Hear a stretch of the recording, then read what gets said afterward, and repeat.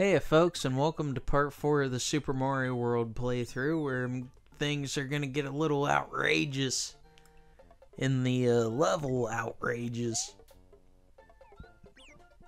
Now, I would say this is also a pretty hard level in the game to get through because this one throws everything it has at you, folks.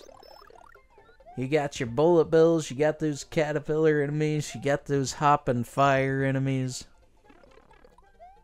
there's just so much going on at once, and sometimes it's kind of hard to dodge it all. in fact, I think one of my only deaths in the uh, game off screen from this playthrough, thanks to the magic of editing, I think one of those only deaths occurred in this level. Now, if I wanted to, I could probably just fly through all this, but I wanted to try to get through this the uh, regular way.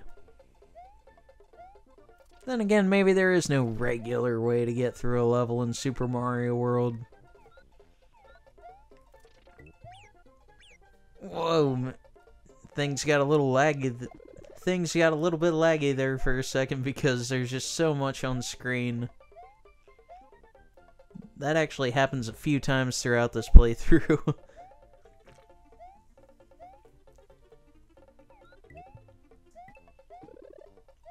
Yeah, I'm definitely to want to be Super Mario.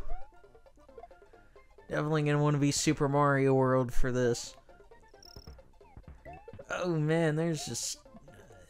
I don't know how I did this. Barely made it.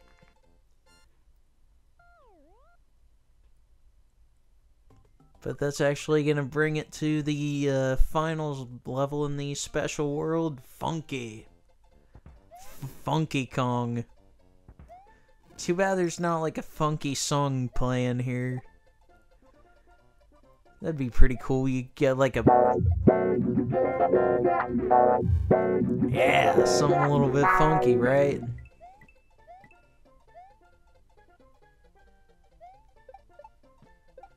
But yeah, this level's not really too difficult to deal with, though.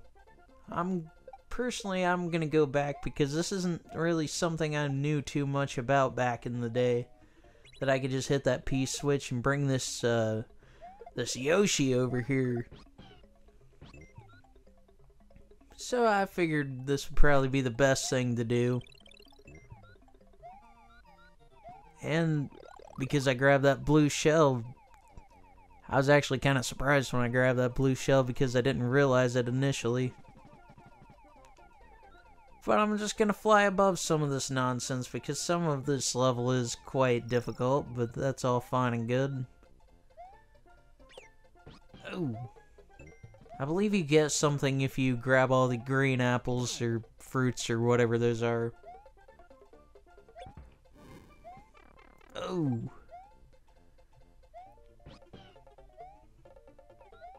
At that point, I just kind of gave up on it, though. Oh. Just bonk my way through here. More of those Galoombas. Whoa. It'd be a miracle if I managed to keep Yoshi through the remainder of this level.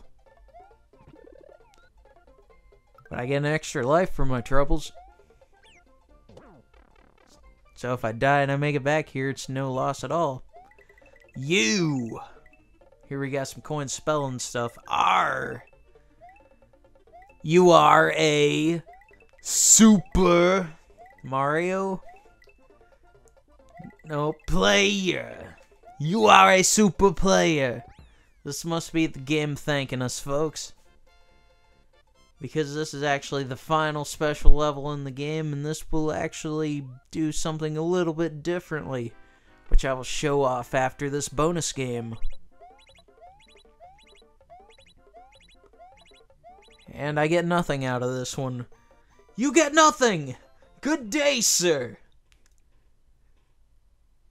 But yep, nothing here, and getting all these special levels completed in this in the original Super Mario World will change the uh, environments.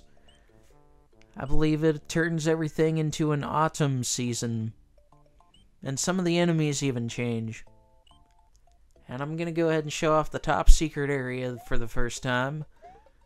Because I'm to go ahead and... hey, I got the nice number.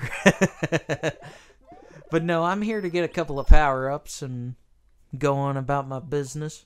As there is some unfinished business in the Donut Plains, folks. See what's going on in the second Koopa Castle. Morton's Cap... Morton's Castle. And I can't bring Yoshi in with me. So me and my 69 lives are gonna see what's going on in the second Koopa Castle. Definitely want to be careful and look out for those spike chain ball things. And of course the Thwomps are back in Super Mario World, folks. Oh, and the Dry Bones enemies. Although you can spin the uh, Dry Bones enemies out of your way if necessary.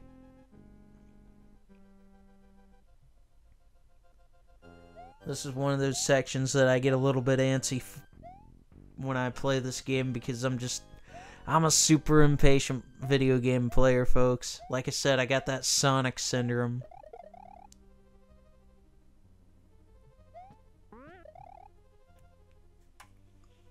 Then what you want to do is you want to wait for this thing to this platform to move over here and then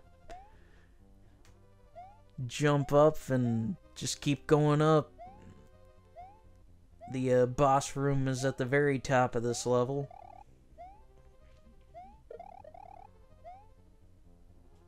Actually, this is one of the easier Koopa castles to deal with.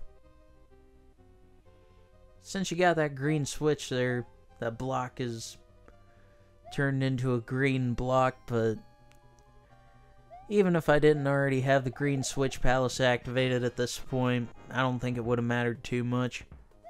But here's Morton Koopa, the second of the Koopa kids. And he goes down in three hits, showing off those fancy Mode 7 graphics that the uh, Super Nintendo was really well known for at the time. But yeah, that's going to do it for the uh, second world in the game. So yeah, in this part, knocking out the special world and the second world. Morton Koopa Jr. of Castle Number 2 is now just a memory. The next area is the underground Vanilla Dome. What traps await Mario in this new world? What will become of Princess Toadstool? And it looks like another keyhole has been dealt with, and this is Vanilla Dome 1, folks. And this is I will say this is one of my favorite overworld themes in the game. Not the uh, one that's playing right now, but the one that plays on the map. That do, do do, do, do do. I, I could listen to that for hours, folks. I'll be honest. Feel like it's one of the more underrated pieces of music in Super Mario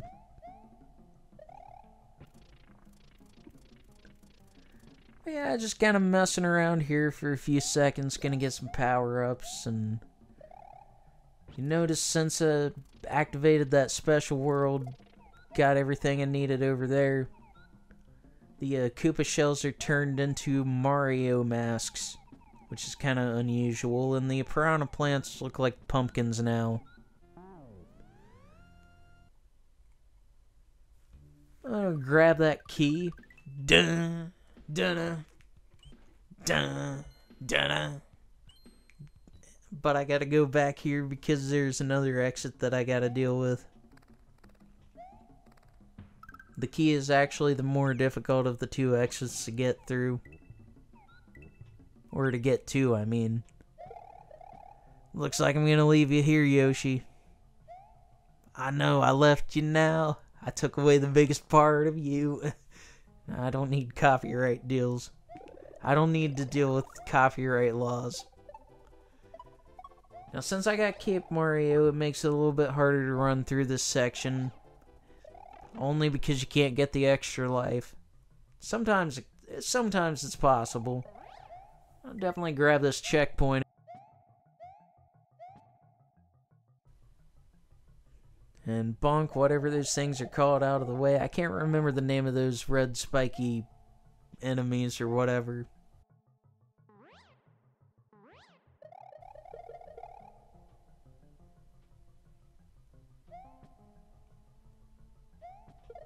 Got one of those fancy blue shells, but that's going to do it for Vanilla Dome 1, folks. So far, I've got over 700,000 points, 87 coins. I only got 9 of the big points, so no bonus rooms anytime soon. And I'm going to go ahead and knock out Vanilla Dome 2. This is yet another one that has two different exits. Here we got some more underwater stuff, though, going on. So I'll go ahead and get this fire flower and take care of some business.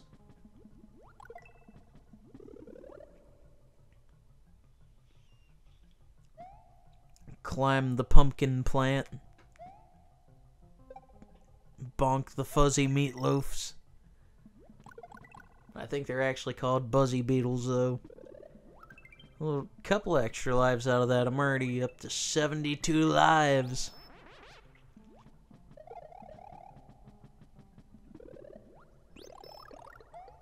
Yeah, I'm gonna go ahead and stay Cape Mario for this one, folks. And it looks like I'm gonna show off the first of the uh, bonus room. Or I'm gonna go ahead and show off the uh, secret exit first. Get the key.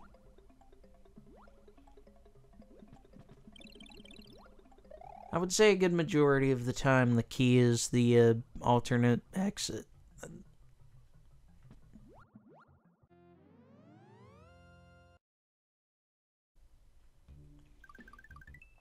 I'm gonna go ahead and knock out the other exit first, though, before I check out that red switch palace.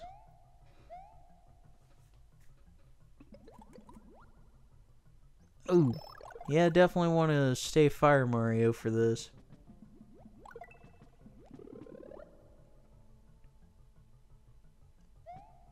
I really like the underground version of this Super Mario level theme.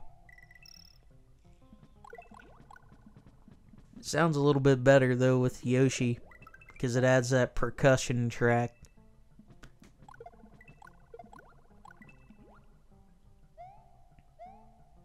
We gotta deal with those Koopa football players.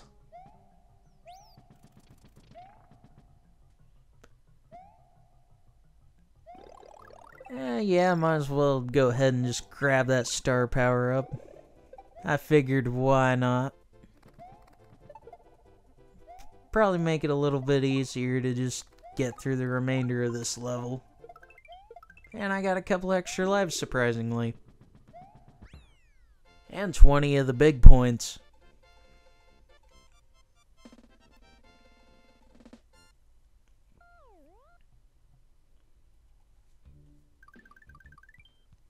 And here we see the Vanilla Ghost House, but I'm going to go ahead and hit this uh, Red Switch Palace up real quick, folks. And this is another spot where you can actually get an extra life by just letting that shell follow you. Two extra lives, actually. And a few coins. But yeah, this uh, will be the third of the Switch Palaces. There's only one more left, folks. That's the Blue Switch Palace, anyway. And I will see you all for part 5 of the Super Mario World playthrough, as this is the end of part 4. And actually, Actually, no, now it's the end of part 4.